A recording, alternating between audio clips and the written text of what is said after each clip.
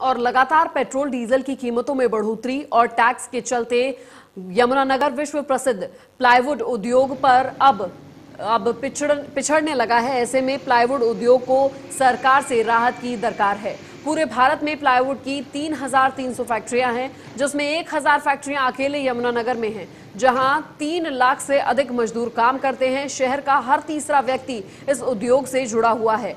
All India plywood association के राष्ट्रीय अध्यक्ष देवेंद्र चावला का कहना है कि यमुनानगर से प्लाईवुड देश के लगभग सभी राज्यों में जाता है। लेकिन अब भाड़े से, भाड़े में 15 से 20 प्रतिशत का इजाफा होने से खरीदार पीछे हटने लगे हैं, जिसके चलते प्लाईवुड की बिक्री कम हो गई है। उन्होंने कहा कि जब माल तैयार होकर देश के अन्य राज्यों में जाता है तो उसमें सभी तरह के खर्चे मिलाकर 30 फ़ीसदी से अधिक की बढ़ोतरी हो जाती है। ऐसे में लोग अपने इलाकों से प्लाईवुड लेने लगे हैं, जिसके चलते यमुनानगर का उद्योग पिछड़ने लगा है। देवेंद्र चावला का मानना है कि अगर अन्य टैक्स जीएसटी में शामिल कर दिए जाएँ और टैक्स का सरलीकरण कर दिया जाए तो इस उद्योग को बचाया जा सकता है।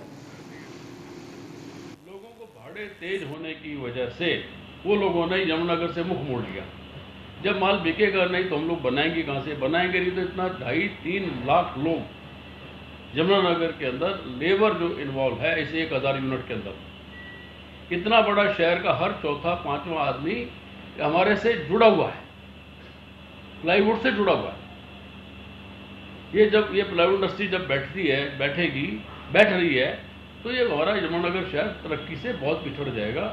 सरकार से हमारे को ये प्रार्थना है कि ये जीएसटी लागू होने के बाद जो आपने डीजल और पेट्रोल के ऊपर इतने भारे टैक्सेस सेंटर और स्टेटों के लगा रखे हैं, आप उसको जी इसको जीएसटी में ले आए तो कम से कम ये 20 25 30 रुपए कम हो जाए, जिम्मेदार बचेगा, ट्रक वाला बचेगा, हमारी इंडस्ट्री बचेगी, हमारा ग्राहक बचेगा।